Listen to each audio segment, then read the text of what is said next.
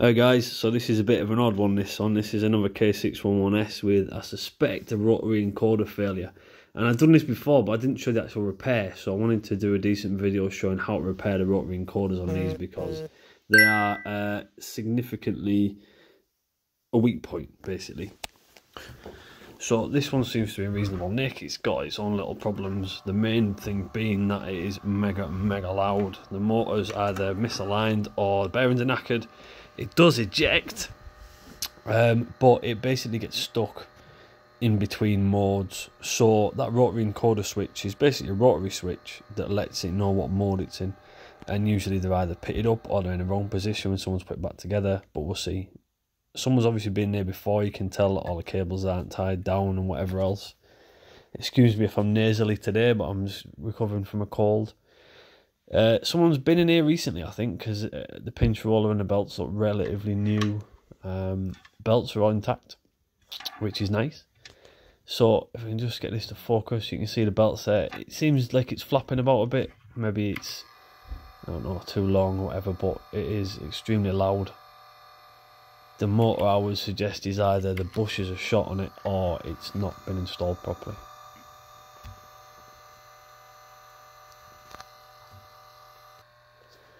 Right so I'll show you what it does. So it'll eject and, and whatever else, fine. Uh, but if we put a tape in, I'll take the cover off so you can see what we're doing. If I put a tape in, um, it basically, it's getting stuck in between modes. It'll rewind, it won't fast forward. Uh, it'll start playing, it'll stop, it'll, it'll you know, it, it won't do one of anything. And as you can see, the head's flicking up and down there. It doesn't know what it's doing. There's a few switches involved in this, but generally the only uh, limit switches there are in this transport is related to the door, whether it's open or closed. So the entire transport is controlled electronically by the rotary encoder, which is a round grey switch. I'll show you in a bit. We'll get it out, give it a clean, work it out. And as you can see, it kind of wants to work, but also doesn't. Which is a nice refreshing change from just knackered belts, if I'm honest with you. So uh, we're going to pull transport out basically and get right into the absolute depths of it and then just work it out from there. As you can see that's not doing anything. So uh, uh, we'll whip the transport out and see what we've got.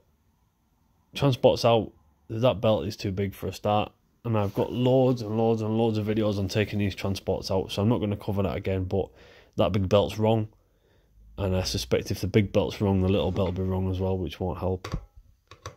So first we do then is we need to take the motor plate off. This is two small black screws, and then there is a, a long brass one above the motor. Um, on this, I worked out that the uh, what someone had done is there's a plastic bush that has to sit underneath the motor plate, and they put it in the wrong place, which has led to this motor being misaligned, which isn't going to help it for a start.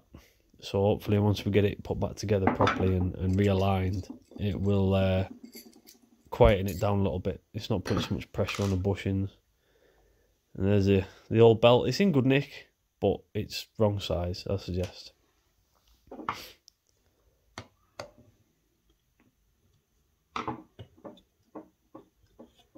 Alright, so if you just give the capstan a pull and then flip it over, and you'll find that there's a, a small plastic washer on the other side. Usually uh, this is caked in grease and or oil, so it just takes a little bit of persuasion to get it to unseat. I should have used tweezers here, but I didn't have them to hand.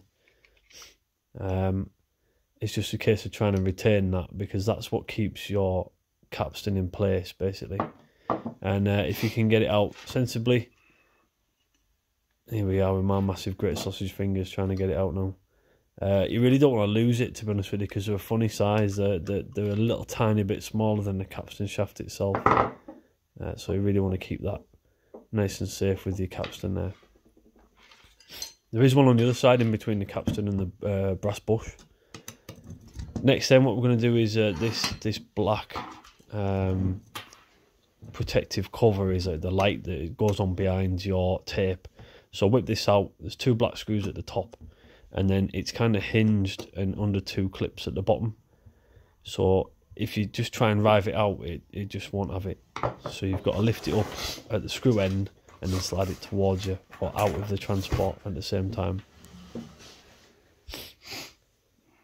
And I find tweezers absolutely invaluable with these two screws particularly because I can't get my fingers in. And uh, it has a habit of dropping inside the unit. Uh, so lift it up at the screw end and then just pull away. Eventually. In order to remove the next kind of sandwich layer of the uh, the transport, we need to move that uh, that black arm in the middle, and that black arm is what controls the reels fast forward and rewind. Um, and generally, it's held in with a plastic clip, but this plastic clip's been lost, and I suggest that's not really. Um, there isn't a clip on it at all.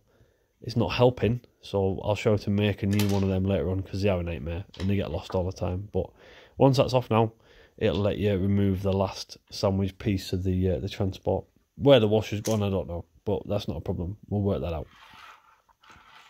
As you can see, I've I removed this transport with the door open. It's just a bit easier, I find. Um, so the next piece of the sandwich is this plate, which retains your um, mode select belt and whatever else in place. But on the back of it is the rotor encoder and also the sensors for the reels so the, the transport knows whether it's playing or, or what it's doing. So I'll show you those when I take it off as well because there has been a few comments on other videos about what are these mirrors, what are these sensors, what's a rotor encoder. So very carefully pull it off and you'll notice that your, uh, your secondary belt will come off with it. And then that little plastic uh, washer you can see there by my right thumb is the one that's in the wrong place but we'll sort that later. So someone has been in here recently someone's had a good play give it a service it's very clean. Uh, as you can see there's no muck. This is your rotary encoder and funnily enough it's about 180 degrees out as I've just removed that there. So um, that's probably the problem is it's it's 180 degrees out basically. But I'm going to strip it and give it a clean anyway I'm feeling that somebody's had a good go at this and unfortunately not worked. These are your light sensors. These sense whether the reels are turning or not. It's important to give them a good IPA, but these are absolutely immaculate. And uh, they kind of sit on the back of the reels and sense whether the reels are turning or not. And when it comes to the end of the tape and it stops turning, it'll stop your transport. Everything else looks totally fine. Give every cog, give every gear the once over, look for cracks, look for missing teeth. Uh, the same one here as well. So uh, that's your uh, secondary belt. That's what drives the mode select part of the transport, along with the two uh, white wheels that always come off. This one's uh, from your mode select wheel to your motor bushing, and the other one's to your motor bushing, and they go there later on. And as you can see, that drives that big grey wheel, which is your mode select wheel. So looking at this now, the mode select wheel, all this part of the transport has been put back together fine, but whoever's put that um, the last slice back on has basically uh, not set it up properly, not aligned everything. So this arm always comes off. Just make sure you know where it goes, as does this arm. It can only really go on one way, and hopefully if you're doing this job, then you can refer back to my video anyway. That just sits on there with a finger in that big grey mode select wheel sits in the groove, and also at the bottom there's a finger on that grey sliding bar at the bottom. Oh, sorry, a white sliding bar. If I move my big hand out the way, then uh, you'll be able to see what I'm doing. I'm just basically just making sure everything aligns. Um,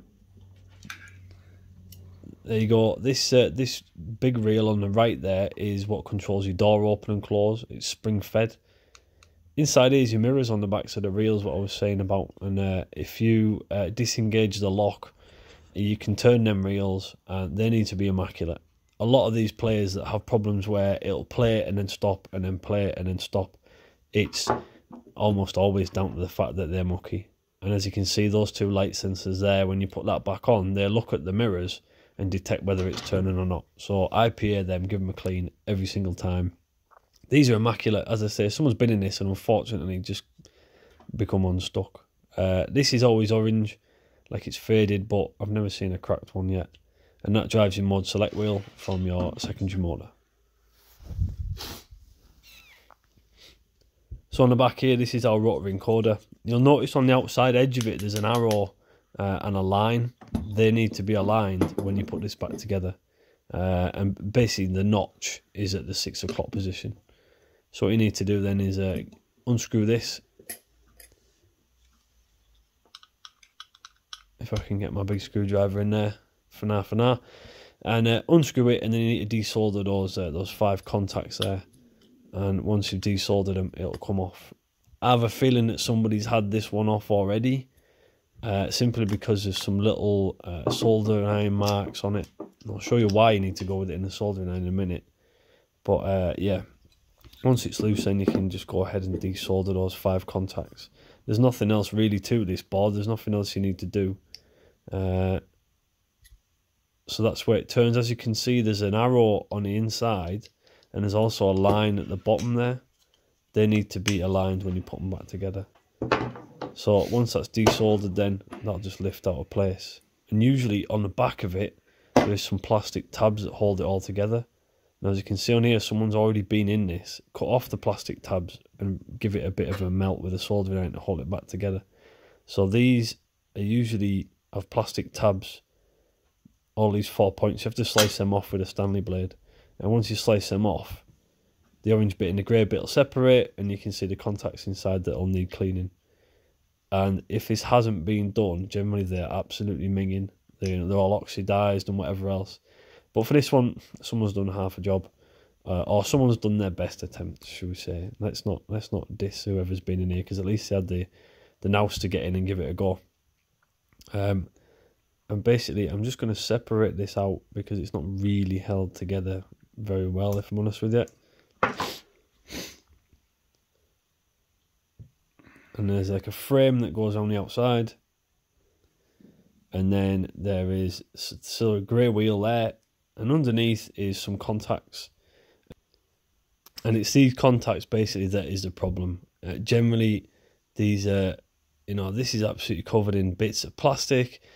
It's full of oil for some reason. I mean i'm not sure why but it's it's just got oil and grease and muck all over it and you need to give them contacts chance to get sorted uh, and make a good connection. Otherwise this is the only thing that electronically controls this transport this entire switch. And all it does is, you know, it lets the system detect what's going on. Is it is it fast forwarding, playing, rewinding, whatever. As you can see, this is a bit of IPA. Um, it's minging basically. So I'll give it a bloody good clean. Once I've got the uh, the grease and the muck off it, I'm going to run over it with a little bit of light emery paper just to clean up those contacts and give them the absolute best I can. Uh, the whole thing is, I don't know whether it's had like grease leached into it or maybe somebody's just being a bit overzealous with the oil or whatever. But either way, it's you know it's it's all leached inside and it's no good for electronics. Fine for the plastic bits and fine for your transport, but electrics, no. So uh, yeah, this needs to be immaculate, and um, there's there's a couple of forum posts about this piece of equipment but I've never seen a video of anybody actually do anything with it. So give it a really light going over with a bit of emery paper. You'll lose a bit of that green. Uh, I'm sure there's a technical name for it, but that kind of green paint that you have on the traces and the tracks. But you know, it's only paint. Nobody's hopefully ever going to see this ever again. This should be good for another, you know, 20, 30 years maybe. This is maybe 30 year old, even though somebody's been in it already. Um, I just realised how nasally I am. I'm really sorry about it, but I wanted to make this today. So yeah, get all that get all that crud off. Make sure you give it a last cursory uh, wipe off with IPA, and make sure it is IPA as well. You know, don't use soapy water, don't use lighter fluid or anything like that. If you really don't have anything, uh, glass cleaner is probably about as close as you're gonna get. Or nip down to Superdrug and get some um, makeup brush cleaner that is basically IPA. Uh, it's like a pound a bottle. You can get it from most chemists. They generally don't sell IPA, but they will sell makeup brush cleaner. Uh, just don't get nail remover, which is acetone, which is uh, it'll just melt everything it touches. And definitely don't use petrol. Um, we've all tried to use a bit of petrol for cleaning, and it, you know it's good for bikes, but not for this. Anyway, I'm just chatting rubbish now. So get everything out of that any slim chance of you know any grease getting in there is going to be pointless. And then these little arms, just give them a little bit more upward force to allow that connection to go. All right. So that where that's sandwiched together, obviously that puts a bit of pressure on them, and that keeps them on the tracks. Just make sure they're all uniformly kind of uh, pressed up there. Nice one. That'll do. Because this is a job you really don't want to have to go back in and do twice. So the first bit is that. Squeeze them two bits together, and then it sits in the little center in the hole, uh, in the hole in the center of the green bit, and then stick your collar back on. This can only go on one way uh, because there's kind of a tab on one edge of it, and then just align that up as best you can. You're kind of fighting against those sprung arm bits here, but it's it's not really that that crazy.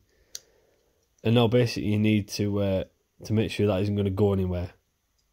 So the way I like to do it is grab your soldering iron. People with expensive soldering irons look away and just give them little tabs a tiny little melt.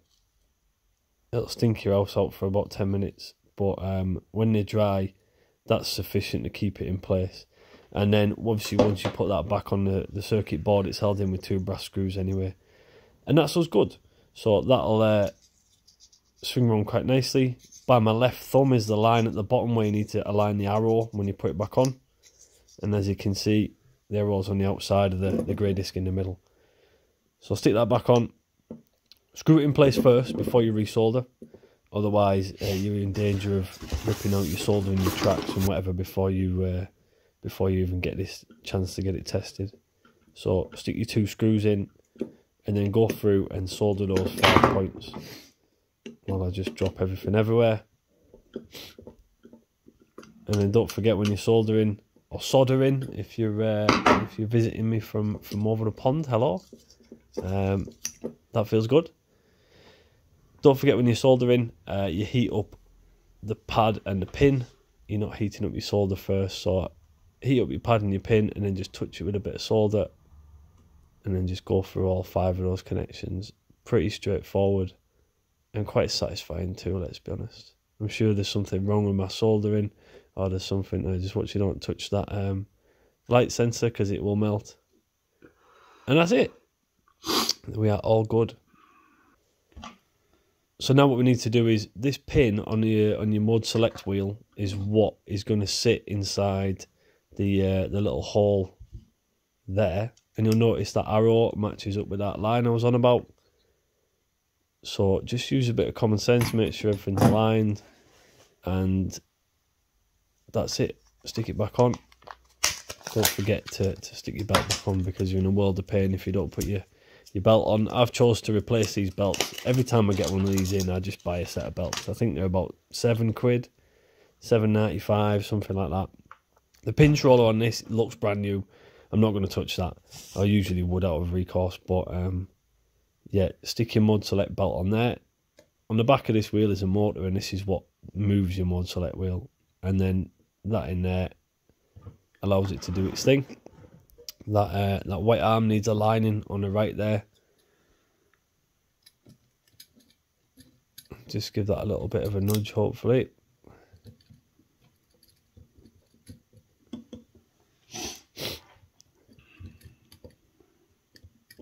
Once this sits down, it'll just nudge that arm along into that groove on your mode select wheel there as well. Alright, so once that's all together and aligned, stick your screws in. When you press that this first plate down, you're actually pressing against a spring as well, which is to do with the door opening mechanism. So when you sit this on your transport, this top, uh, yeah. the first part of the sandwich, shall we say, you'll feel a bit of pressure, and that's fine. Just press it down, seat it home on its little holes and screws and whatnot. And then once it's back together and you got those screws back in, you need to pop that belt back off its uh, that mode select belt in there is kind of sat on those two arms if you remember. You need to stick that on. You only get one go at that. so make sure you do it properly. Right, so what's next then? So that first bit of the sandwich is on. I did sort that arm out for those of you that have noticed there, look.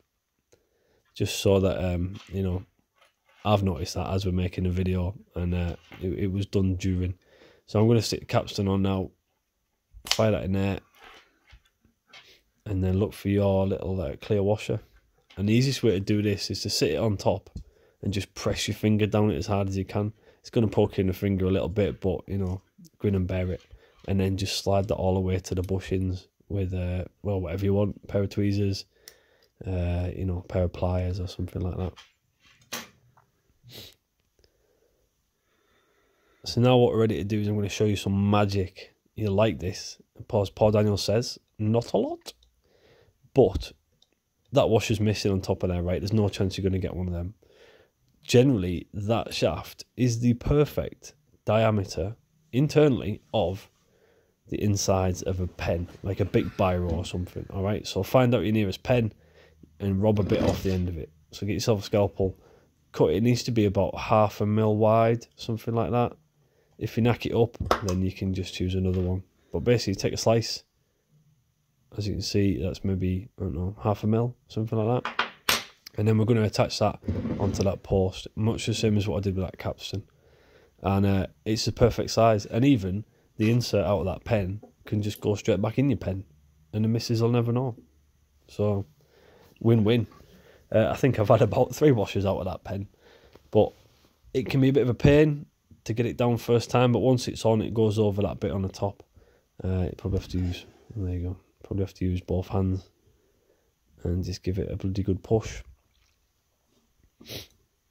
And what that'll do is that'll retain uh, that that arm needs retaining in place. It can't be flapping about. If it does, it'll affect your fast forward and rewind and whatever else. So there you go. That's in place. Boom. Easy. So stick your cover plate back on then. Remember that goes into two kind of tabs at the bottom first and then the screws go in. So I always use tweezers for this, as I say, because I always drop them screws back into the transport. I've learnt my lesson. And I'm, I'm here to share these lessons with you guys. So yeah, tighten them two up. Remember, they go into plastic, so don't over tighten them because they'll be knackered if you do.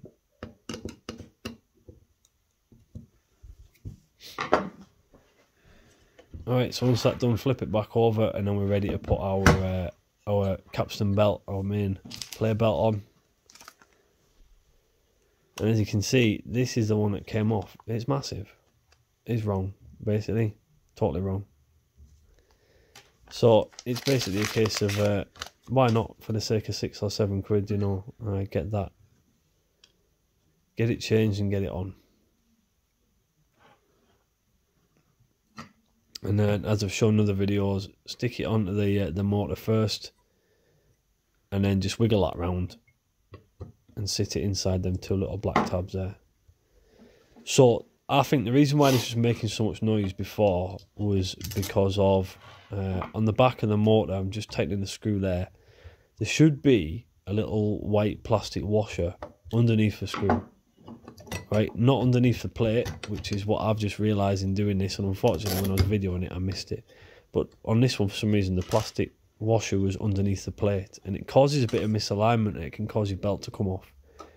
It's only by two mil, but why do the job three times?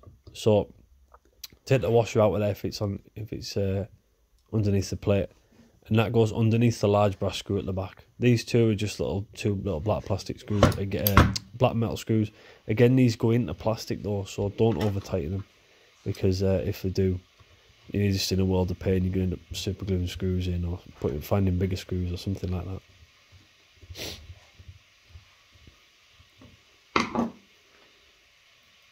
Alright, and that's good. Capstan spinning freely. It's time to fire this back in, I think. Uh, let's plug our motor back into there. That's our power feed for the motor. These plugs are a bit fragile, but generally they're alright after a couple of pulls. So I fired this back in. Just it's just got one screw in it or something, and uh, I've plugged it everything in except for the head feeds, which is the three plugs that go into the main board.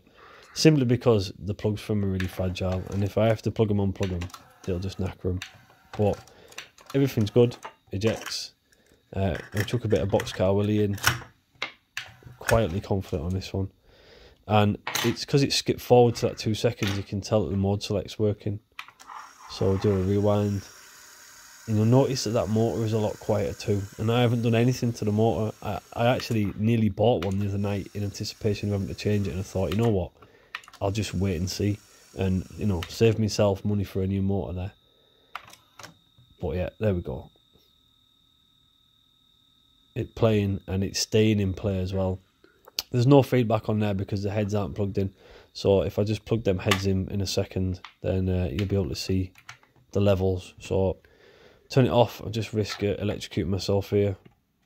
I'd like to say I've unplugged it for safety. For, for, for, for any kids watching, I've unplugged it. All right.